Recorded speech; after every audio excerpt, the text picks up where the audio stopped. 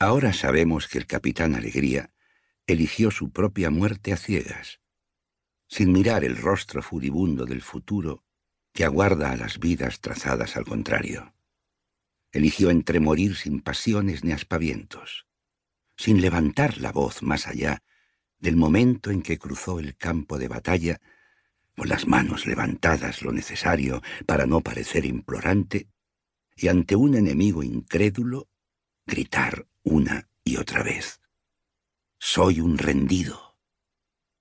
Bajo un aire tibio, transparente como un aroma, Madrid nocheaba en un silencio melancólico, alterado solo por el estallido apagado de los obuses cayendo sobre la ciudad con una cadencia litúrgica, no bélica.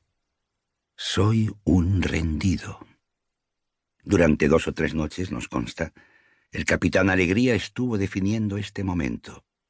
Es probable que se negara a decir me rindo, porque esa frase respondería a algo congelado en un instante cuando la verdad es que él se había ido rindiendo poco a poco.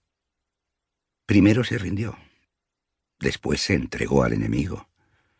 Cuando tuvo oportunidad de hablar de ello, definió su gesto como una victoria al revés.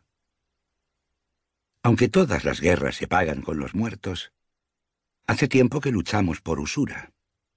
Tendremos que elegir entre ganar una guerra o conquistar un cementerio, concluía en una carta que escribió a su novia Inés en enero de 1938. Ahora sabemos que él, sin saberlo, había rechazado de antemano ambas opciones. Sabiendo ahora lo que sabemos de Carlos Alegría, podemos afirmar que durante el tránsito entre las dos trincheras solo escuchó el alboroto de su pánico. Todos los ruidos, todas las explosiones, todos los gritos fueron absorbidos por el silencio de la noche.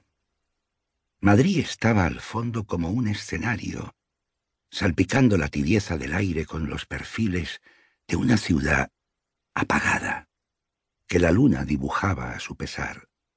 Madrid se agazapaba. Así comenzó la derrota del capitán Alegría. Durante tres largos años había observado a ese enemigo desarrapado y paisano, resignado a que otro ejército, el suyo, anonadara esa ciudad inmóvil, silenciosa, que había trazado sus límites al azar, tras unas trincheras desde las que hacía tiempo Nadie esperaba un ataque. La violencia y el dolor, la rabia y la debilidad se amalgaman con el tiempo en una religión de supervivencias, en un ritual de esperas donde entonan la misma salmodia el que mata y el que muere, la víctima y su verdugo. Ya solo se habla la lengua de la espada o el idioma de la herida escribió Alegría a su profesor de Derecho Natural en Salamanca, dos meses antes de rendirse al enemigo.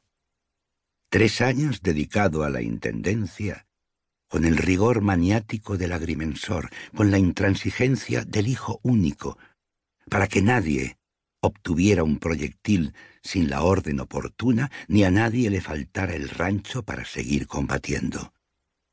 Fueron también tres años escrutando la derrota con los prismáticos verdosos que su centro de intendencia distribuía regularmente entre los estrategas de la guerra, entre los observadores del combate, entre los curiosos de la muerte. Los horrores que no vio se los habían contado.